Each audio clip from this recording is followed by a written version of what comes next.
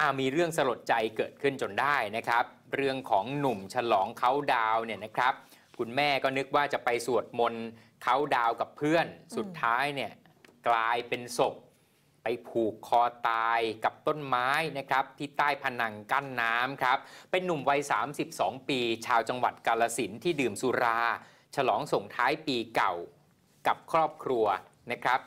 ไปผูกคอเสียชีวิต สันนิษฐานว่าน่าจะน้อยใจ เพราะว่าขอเงินจากแม่ไม่ได้ ออกจากบ้านหายตัวไป ที่บ้านก็นึกว่าไปสวดมนต์ข้ามปี แต่สุดท้ายกลายเป็นศพแบบนี้ครับช่วงเช้าที่ผ่านมานะครับ เจ้าหน้าที่ตำรวจสพเมืองกาลสินธุ์ได้รับแจ้งว่ามีผู้พบศพ พบตอนเช้าเลยนะอืมชายใช้เชือกผูกคอกับต้นไม้ใต้ผนังกั้นน้ำเปล่า บริเวณบ้านดอนสนวน ตำบลหลุบจังหวัดกาลสินนะครับจึงไปตรวจสอบที่เกิดเหตุ ซึ่งอยู่บริเวณใต้ผนังกั้นน้ำเปล่า บ้านดอนสนวน พบศพชายใช้เชือกผูกคอกับต้นไม้ จากการตรวจสอบทราบชื่อผู้เสียชีวิต คือนายวันชัยคำหานพล อายุ 32 ปีชาวจังหวัดกาลสินตรวจสอบบริเวณที่เกิดเหตุไม่พบร่องรอยการต่อสู้ ตามร่างกายไม่มีบาดแผล สันนิษฐานว่าเสียชีวิตมาแล้ว 6 ชั่วโมง จากการสอบถามนางสมพักคำหานพลซึ่งเป็น แม่ของผู้เสียชีวิตนะครับ บอกว่าเมื่อวานนี้ตอนบ่าย ตนกับครอบครัวและญาติหลายคน รวมทั้งนายวันชัยลูกชายเนี่ยก็ได้ร่วมกันสังสรรค์ ในโอกาสส่งท้ายปีเก่าต้อนรับปีใหม่กันนั่นแหละ จากนั้นก็แยกย้ายกันกลับบ้าน ขณะที่นายวันชัย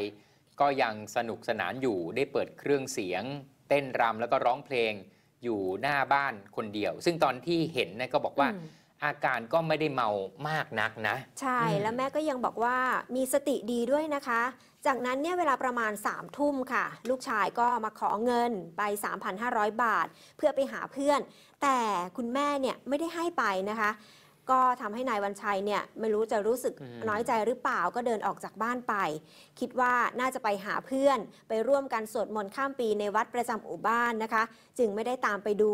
ก่อนที่ในตอนเช้าของวันนี้เนี่ยแหละค่ะญาติได้มาแจ้งข่าวร้าย บอกว่าลูกชายก็คือนายวันชัยเนี่ยเสียชีวิตแล้ว คาดว่าสาเหตุก็น่าจะเกิดจากอาการน้อยใจนะคะ ที่ขอเงินแม่ไม่ได้ ประกอบกับมีอาการเมาเล็กน้อยด้วยนะคะ จึงตัดสินใจผูกคอตายดังกล่าวค่ะ ขณะที่นายปัญญานะครับ ซึ่งเป็นพ่อของนายวันชัยก็บอกว่าลูกชายทำงาน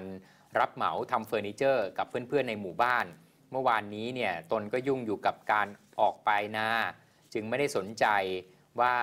ลูกเมียและญาติจะดื่มฉลองปีใหม่กันนะก็ไม่ได้มาร่วมและว่าอย่างนั้นค่ะแล้วก็ปกติเนี่ยนายวันชัยผู้เสียชีวิตเนี่ยจะเชื่อฟังพ่อแม่ หากดื่มสุราก็จะให้นอนพัก แต่ก็ไม่คาดคิดว่าลูกชายจะคิดสั้นผูกคอตายหลังจากดื่มส่งท้ายปีเก่าต้อนรับปีใหม่อย่างนี้ครับค่ะ